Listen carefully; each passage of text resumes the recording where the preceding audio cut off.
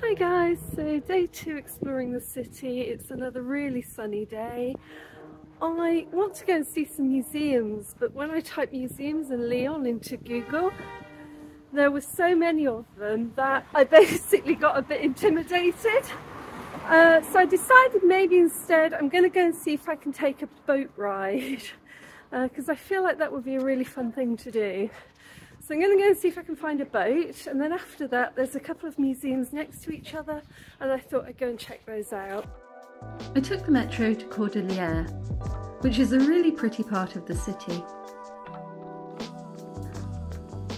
Unfortunately, I arrived just as the ticket booth was closing, but I saw there was a river cruise leaving at quarter to five, so that gave me plenty of time to explore the museums and get back in time for my boat ride.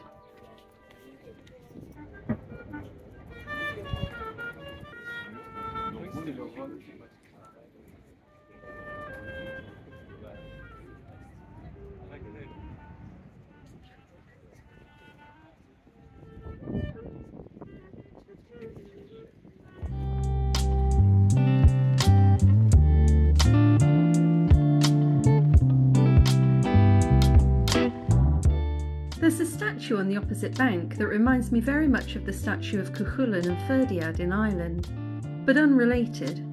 It's called The Weight of Oneself, so I assume the man is carrying himself and his burdens, perhaps weighing his soul or carrying himself to redemption.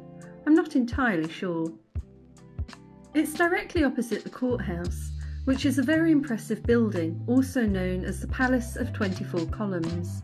It's considered one of the finest examples of neoclassical architecture in France. I headed to the Museum of Miniatures and Cinema, but the queue was out of the door as I think it was a public holiday. So I continued walking and saw this flag, which reminded me of the black and white ceiling at the Basilica. Apparently, it's the flag of Brittany. I like it. I also found a gorgeous bookshop which made me want to spend all of my travel money on a suitcase large enough to buy everything and a ticket home to Rwanda. It took real willpower to move on.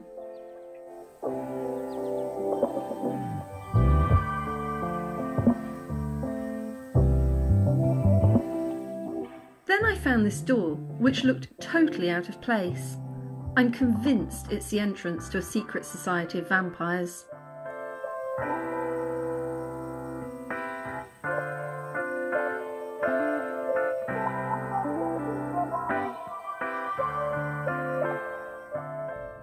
Arrived at the Museum of Marionettes, and there was no queue at all. The ticket cost something like 8 euros and got me into the Museum of Puppets and the adjoining Museum of Local History. I thought that was rather fantastic value.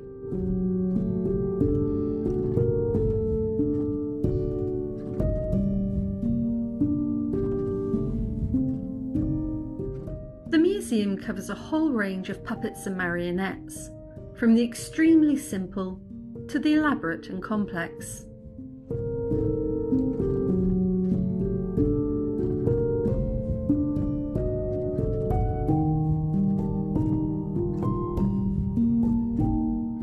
Puppets from all over the world, even the spitting image dummy from the UK. I have to admit, I relied heavily on Google Translate, as many of the displays were only in French. There was an English guidebook at the start of the walk, but it was very heavy and I didn't want to carry it around with me.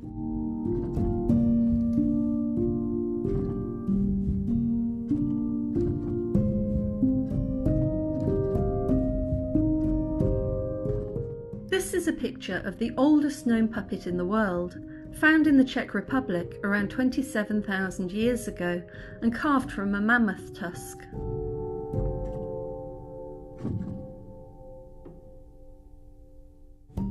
This was a cool display where you could touch each item on the screen to read more about it. And there was a large display of Punch and Judy.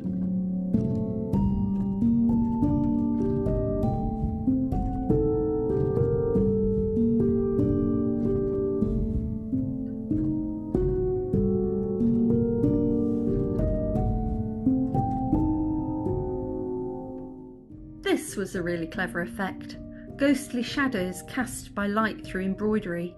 Some people don't like puppets and marionettes because they're creepy, but we'd be disappointed if they weren't, wouldn't we?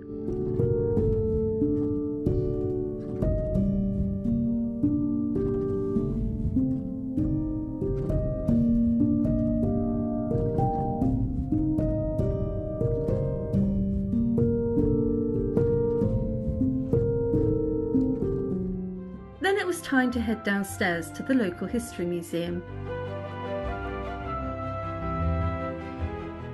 Each artefact in this display told the story of its origin in first person, explaining why it was significant to Lyon. There was a lot more information available in English in this museum, but not everything, and sometimes the audio sounded like it was just being read by a text to speech program. I liked this part, where it showed the progression of Lyon through the ages by showing how keys and shoes have changed.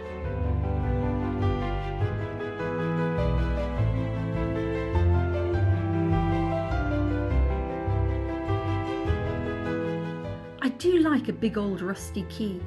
I reckon one of these unlocks the door we passed earlier. Not too sure how historically accurate this guy was though. Here's the modern age, and according to my Airbnb keys, it's pretty accurate. This was also pretty cool. A huge scale model of the city which lights up different attractions to show you where they are.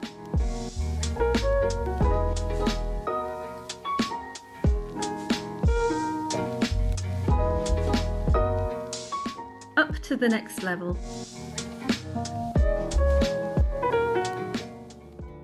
Here's a display showing the city's relationship with boats and shipping. Given that it's situated between two rivers, the Saône and the Rhône, shipping was a really important part of the city's development.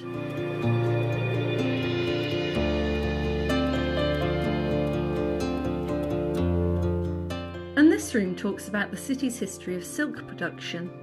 In 1540, Francois I granted Lyon a monopoly on silk production and invited Italian silk weavers to settle in the city, and soon they established a thriving silk industry. This is a traditional loom.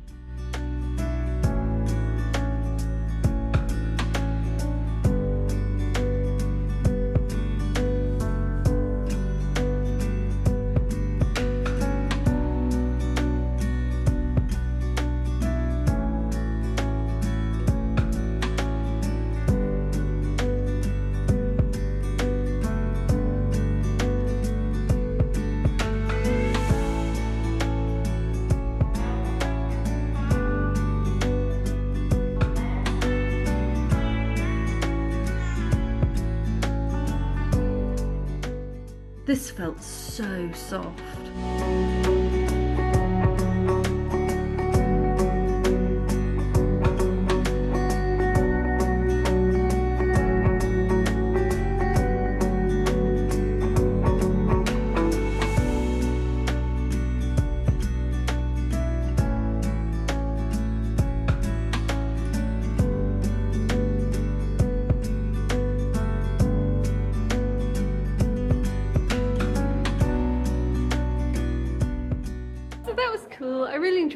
Museums. Um, I feel like I've got a bit of culture.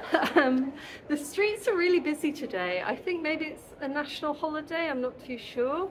Uh, but I'm going to go off and see if I can find a cafe for some coffee and something to eat because I'm getting a little bit hungry.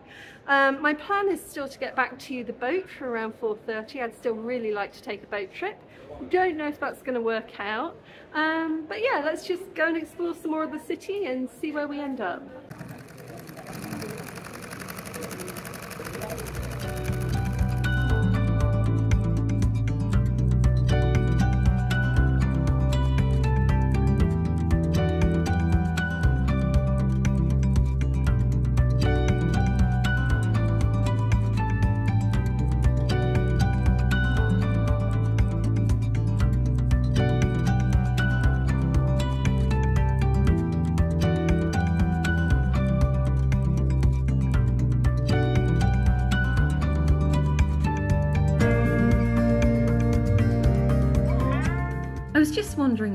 Looking for a cafe when I noticed this strange set of steps. My curiosity got the better of me, and I abandoned my search for food. I should call you, see what you've been up to. I've been wondering how far did you go in seven months? I bet you're happy and don't think that much about me. Here I am alone. These are really annoying steps. They're just a little bit too short to take them two at a time. And they're way too tiny to just step one at a time. It's like, how are you supposed to go up these steps? Okay, where's the cafe?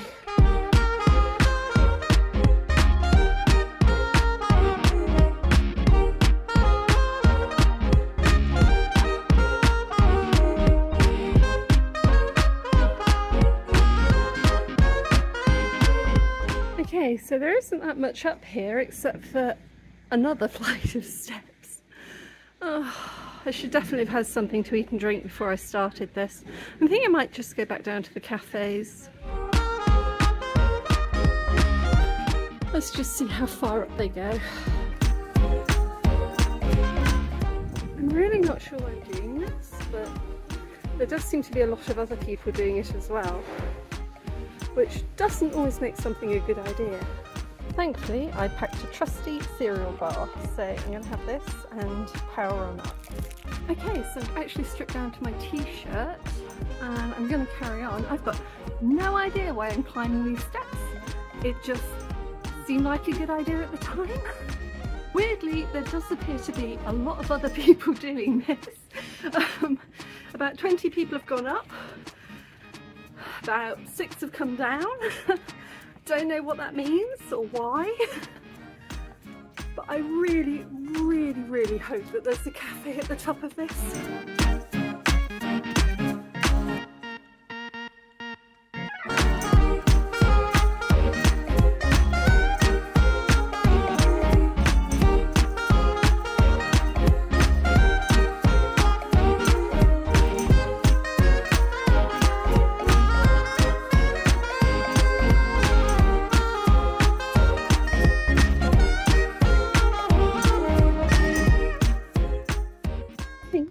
The top.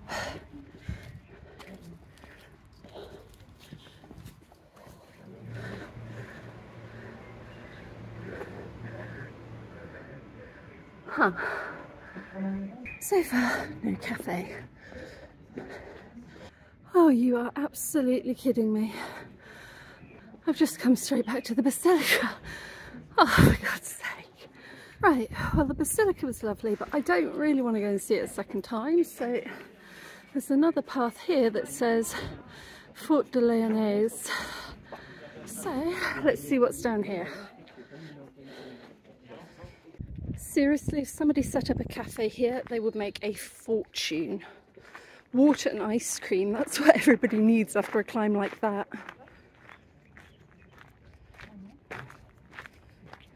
Okay, so I've decided not to carry on down this way because it's three o'clock and if I want to take a boat ride I need to get a ticket uh, around 4.30 because uh, the boat's about 4.45 so what I'm actually going to do is go back down all of those steps and try and find a cafe, get something to eat, get a coffee and just try and relax for five minutes before I figure out what to do next. I cannot believe I'm actually about to do this, but I'm just to go straight back down the steps.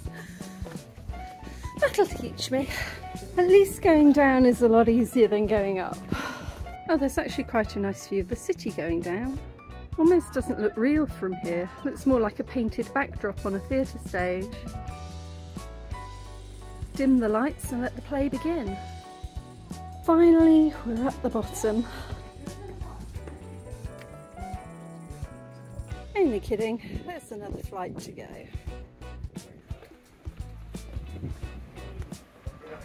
And finally, now I really need something to eat. By this point, a lot of places had stopped serving food, and because it's such a touristy area, those that were open were pretty expensive and very busy. I didn't think I'd be able to sit down and eat and get to the boat in time, so I swung by the convenience store before joining the queue for the cruise tickets. I arrived just as another cruise was leaving. I think they put on another boat because it was so popular. But getting there early was a good idea because it guaranteed me a seat upstairs with a good view. The sandwich I bought wasn't that great, but I was super excited to try these mochi balls. I watch a lot of Japanese YouTubers and I've always wanted to try these. They're little balls of ice cream inside chewy rice dough and they were absolutely delicious. I got vanilla, caramel, coconut and mango. Highly recommended. Yesterday there was sun and there was rain. Beauty in the mundane. That's the Basilica, again. I can't believe I just climbed up there.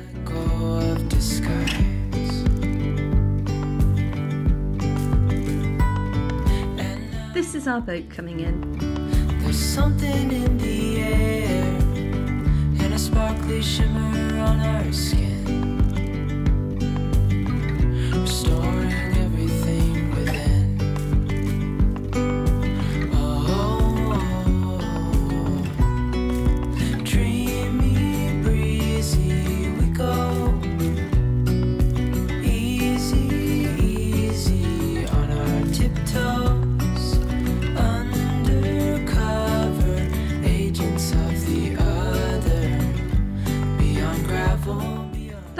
Palace of Justice on the left. Apparently, the reason it's called the Palace of 24 Columns is because justice never rests, and they represent the 24 hours of the day.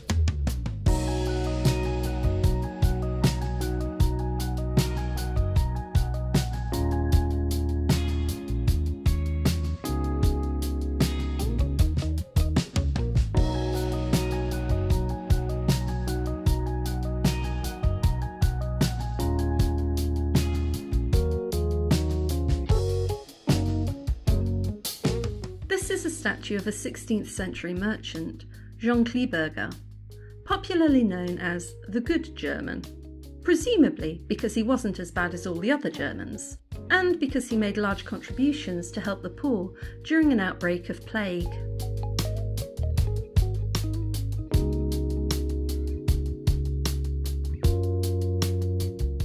This was once the world's first veterinary school, founded by Claude Bourgelat in 1761.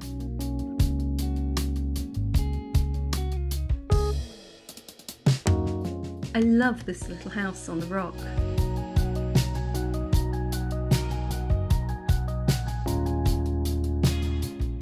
This yellow house on the left is an optical illusion. It's painted to appear at an angle, but the end wall is flat. Famous figures from Lyonnais history are painted in the windows.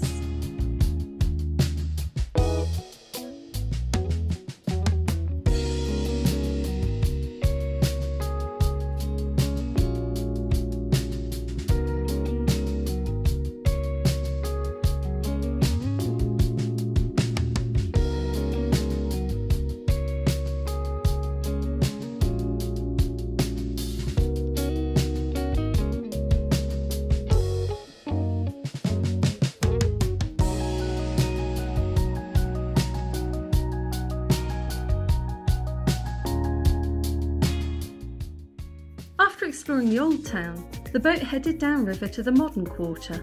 This area used to be uninhabitable marshland where the two rivers meet, but now it's a playground for modern architects.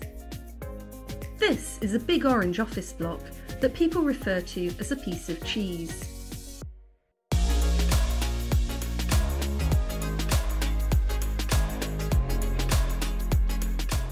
And this is a big green office block that people refer to as a pencil sharpener. And this building here is the Museum of the Confluences. Apparently, it's an exploration of natural history and the human condition. It sounds really impressive. I wanted to go but wasn't sure how easy it was to get to. I might still make it. Lyon sits between two rivers, the Saône and the Rhône. This is where they meet. It doesn't show up on camera, but you can see a distinct colour difference with the eye. The Saône is green, whereas the Rhône is blue.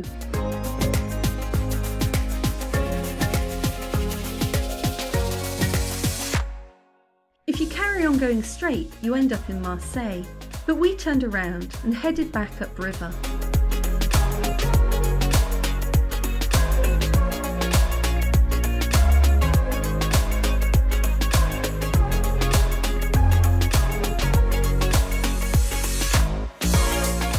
Figures on the bridge represent the two rivers. The Saône is female and the Rhône is male. These are part of the old fortifications of the city.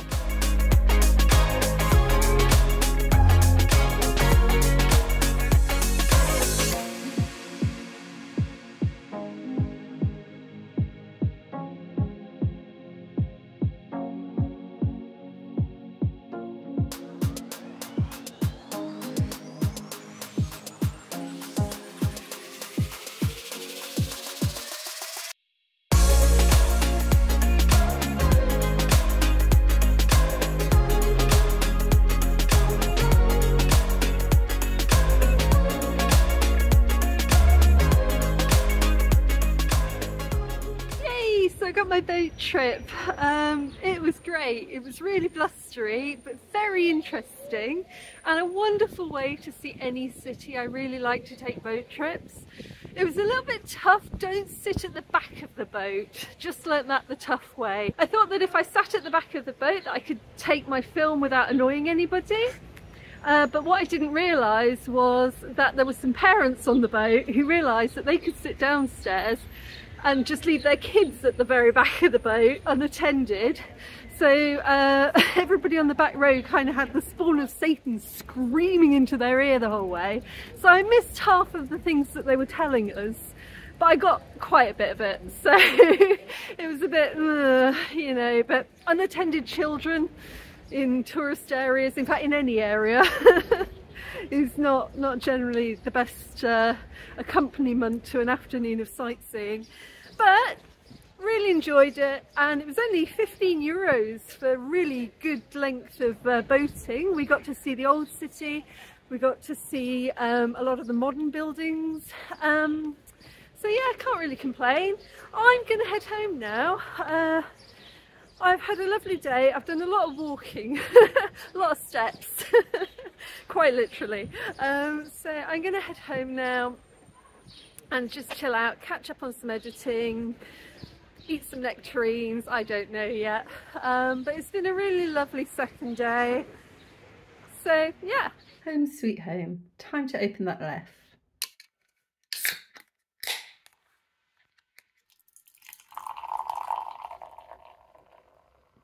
It's red. Oh dear God, it smells like strawberries. what have I done? What have I bought? What is this?